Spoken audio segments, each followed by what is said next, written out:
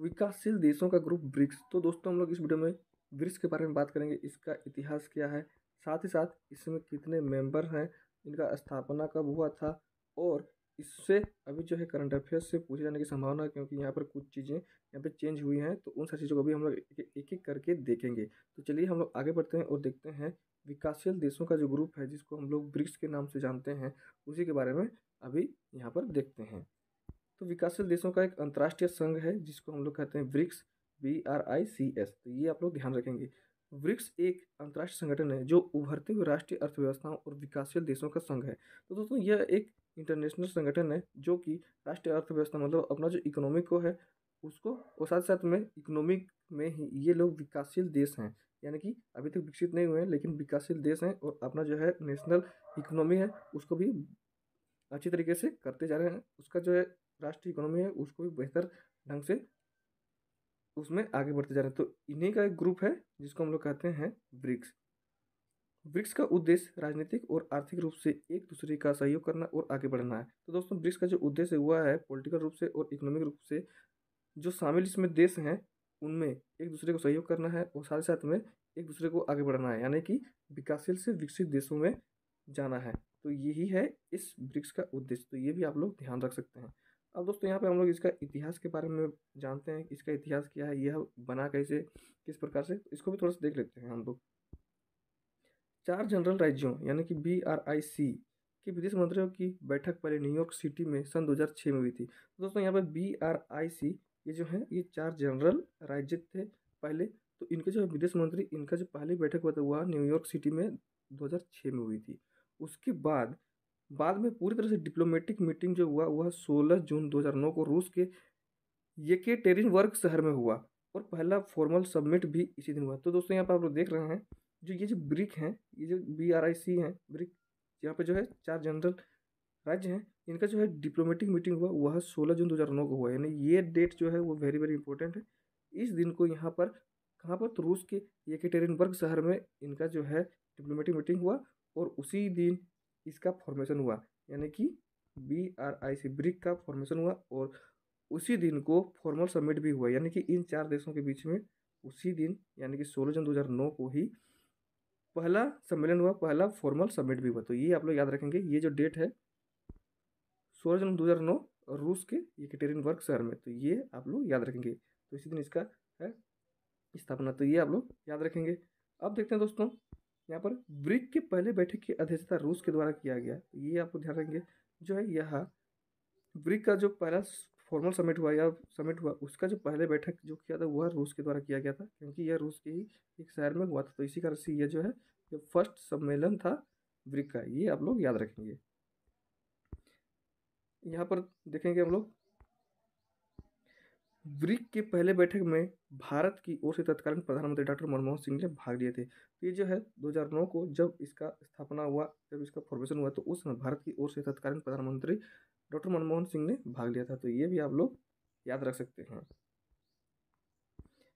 BRICS को पहले brick कहा जाता था, जिसमें केवल चार देश ही सदस्य देश थे, जैसे कि ब्राज़ील, रसिया, इंडिया और चाइना।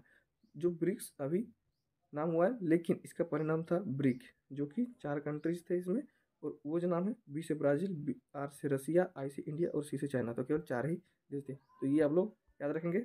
उसके बाद देखते हैं यहाँ पर होता क्या है।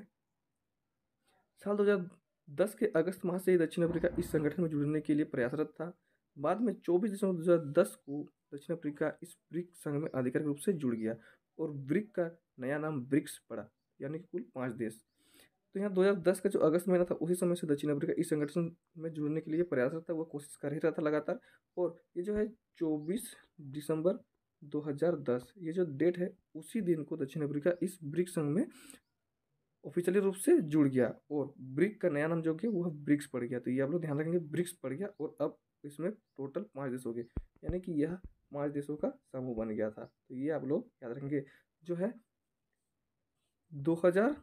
2010 में, दक्षिण अफ्रीका का इसमें नॉमिनेशन हुआ एंट्री भी हो गया तो ये आप लोग याद रखेंगे। तो यहाँ पर आप देखिए, यहाँ पर ब्रिक्स से ब्रिक्स पड़ गया, यहाँ पर बी से ब्राज़ील आर से रसिया आई से इंडिया सी से चाइना और एस से साउथ अफ्रीका तो ये पाँच देशों का समूह बन गया ब्राज़ील रसिया इंडिया चाइना और साउथ अफ्रीका अब देखते हैं, दक्षिण अफ्रीका अप्रैल 2011 के ब्रिक्स समिट में पहली बार फुल मेंबर के रूप में शामिल हुआ, जो चीन के सानिया शहर में हुआ था। तो ये जो साउथ अफ्रीका जो है वो 2010 में मेंबर बन गया, लेकिन उसके बाद वाले जो साल है, यानी कि 2011 इस साल में जो है ब्रिक का समिट हुआ, उस समय साउथ अफ्रीका इसमें फुल मेंबर के रूप में शामिल हुआ। और यह कहाँ हुआ था? तो यह चाइना का सानिया शहर है, वहीं पर उस समय का ब्रिक समिट हो रहा था, उसी पर यह फुल मेंबर के रूप में शामिल हुआ था। तो ये भी आप लोग याद रखेंगे।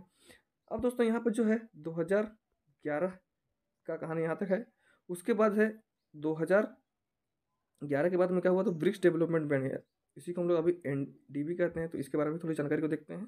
तो ब्रिक्स डेवलपमेंट बैंक कोई भी संगठन होता है, उसको थोड़ा सा चलाने के लिए उसमें इकोनॉमिक रूप से बेहतर होना भी चाहिए। तो इसी कारण से वहाँ पर रुपयों की ज़रूरत पड़ती है मनी की ज़रूरत पड़ती है। तो यहाँ पर ब्रिक्स के देशों ने ब्रिक्स डेवलपमेंट बैंक बनाने का निर्णय लिया था। तो इसको भी हम लोग देख लेते हैं। तो ब्रिक्स देशों के लिए बैंक खोलने का आइडिया जो है, वो भारत ने ही फोर्थ ब्रिक्स समिट 2012 में दिया। जब भारत इस समिट की अध्यक्षता कर रहा था। तो ये भी आप लोग वेरी वेरी इंपॉर्टेंट है, ये भी आप लोग ध्यान रख सकते हैं कि जो है ब्रिक्स डेवलपमेंट बैंक उसको जो है खोलने के लिए जो आइडिया दिया था वह भारत ने दिया था, यानी इंडिया दिया था और उस समय चौथे नंबर का ब्रिक्स समिट हो रहा था 2012 में। तो ये भी आप लोग ध्यान रखेंगे रखेंगे और उस समय जो है चौथे नंबर का जो ब्रिक्स समिट समिट था वह भारत में ही आयोजित हो रहा था, यानी कि भारत की ही अध्यक्षता में यह समिट हो रहा था। तो ये भी आप लोग याद रख सकते हैं। पंद्रह जुलाई 2014 को सिक्स ब्रिक्स समिट में बैंक को लेकर एग्रीमेंट पर हस्ताक्षर किए गए और इस प्रकार ब्रिक्स डेवलपमेंट बैंक का निर्माण हुआ। अब देखिए, यहाँ पे 2014 में जो कि छठवां ब्रिक्स समिट हुआ था, उसमें इस बैंक को लेकर के, इस बैंक को खोलने को लेकर के एग्रीमेंट हुआ और एग्रीमेंट पे साइन होने के बाद में ब्रिक्स डेवलपमेंट बैंक का निर्माण हुआ। तो ये भी आप लोग याद रख सकते हैं थोड़ा सा बाद में इस बैंक का नया नाम न्यू डेवलपमेंट बैंक यानी कि एनडीबी किया गया, जिसका मुख्यालय या हेडक्वार्टर संघाई चीन में है। तो ये आप लोग याद रखेंगे कि जो है ब्रिक्स डेवलपमेंट बैंक, उसी का बाद में नया नाम हुआ न्यू डेवलपमेंट बैंक एनडीबी और इसका जो है हेडक्वार्टर कहाँ है? तो वह है संघाई चीन में। तो ये भी आप लोग याद रख सकते हैं। आप याद कर लेंगे। भारत के के वी कामत एनडीबी के पहले इलेक्टेड प्रेसिडेंट बने। तो यहाँ पे आप लोग देख रहे हैं कि भारत के जो है के वी कामत, वो एनडीबी यानी कि न्यू डेवलपमेंट बैंक के पहले इलेक्टेड प्रेसिडेंट बने थे। ये भी आप लोग याद रख सकते हैं। अब दोस्तों, यहाँ पर फिफ्टींथ ब्रिक्स समिट और नए देशों का शामिल होना ये भी एक कहानी है और यहीं से करंट अफेयर्स आपका बनता है।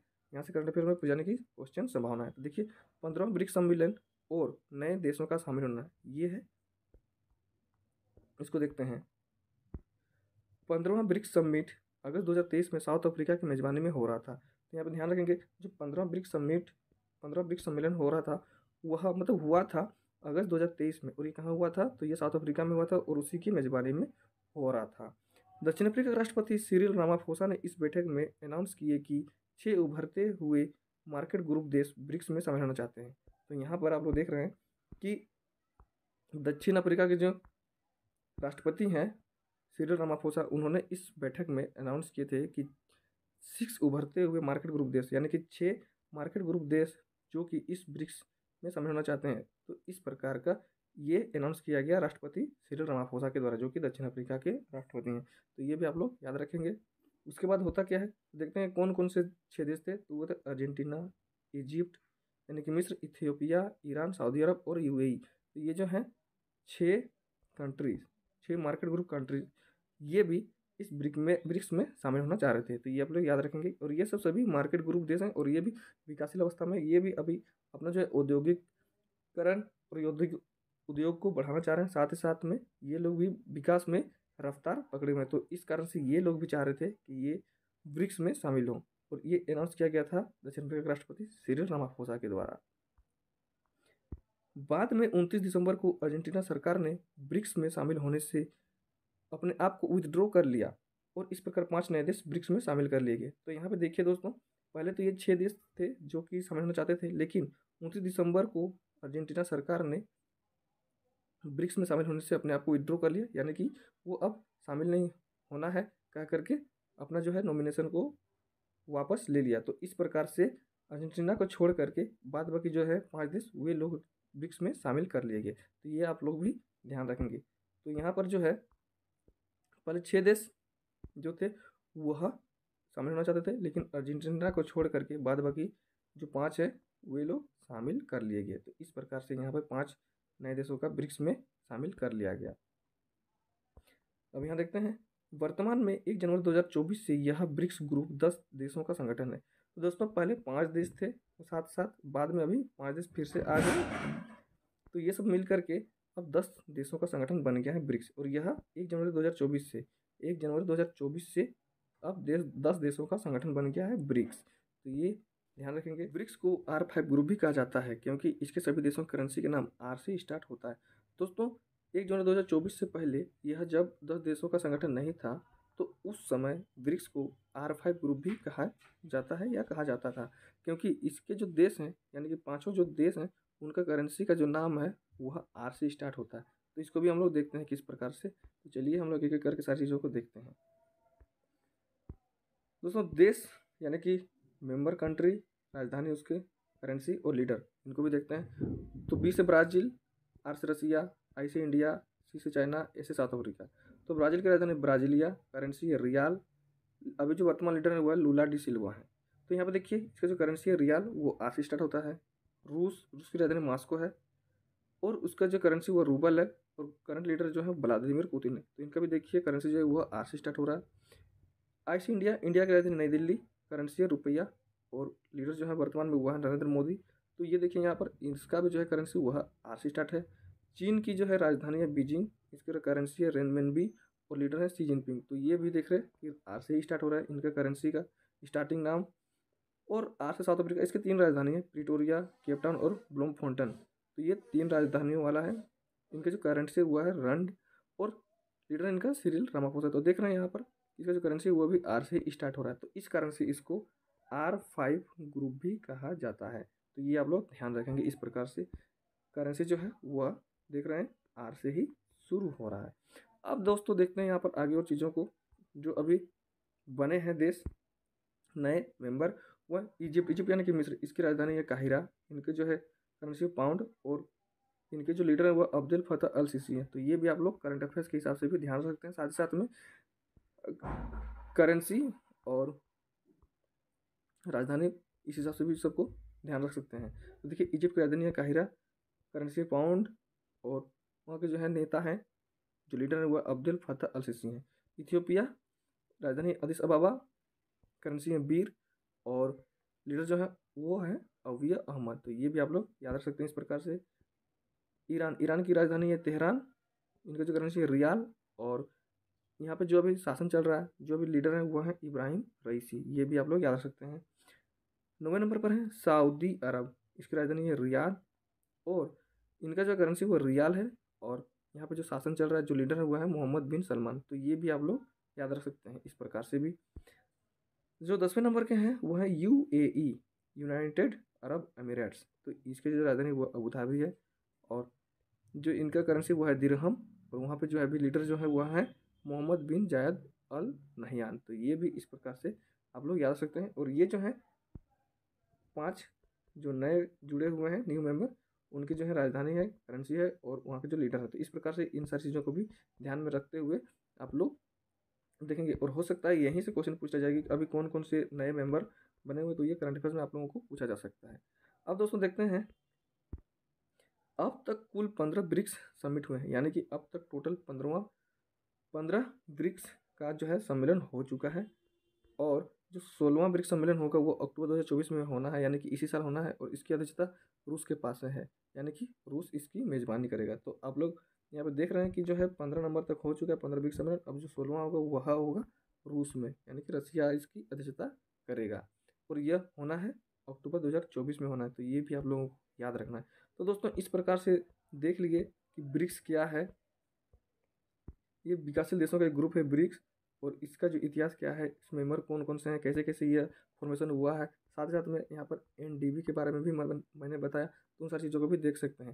दोस्तों, यहाँ पर जो है ब्रिक्स में ये जो आर है, यानी कि रसिया रसिया है, इस रसिया को छोड़ करके बाकी सभी जो देश हैं, वह विकासशील अवस्था में है, लेकिन अपना इकोनॉमी को इतने अच्छे से बना लिए हैं कि यह विकसित देशों के बराबर या कि, या तो फिर विकसित जो देश हैं, उसके पास पहुँचने वाले हैं। तो इस प्रकार से यहाँ पर देख रहे हैं कि रसिया केवल विकसित देश है। बाद बाकी लोग अभी विकासशील में हैं, लेकिन विकसित देशों की सूची में जल्द पहुँचेंगे या तो फिर एकदम उसके पास पहुँच जाएँगे। तो इस प्रकार से इसको ध्यान रखना है। तो ये जो है विकासशील देशों का एक अंतर्राष्ट्रीय संघ है, ब्रिक्स। ये इसकी जानकारी थी।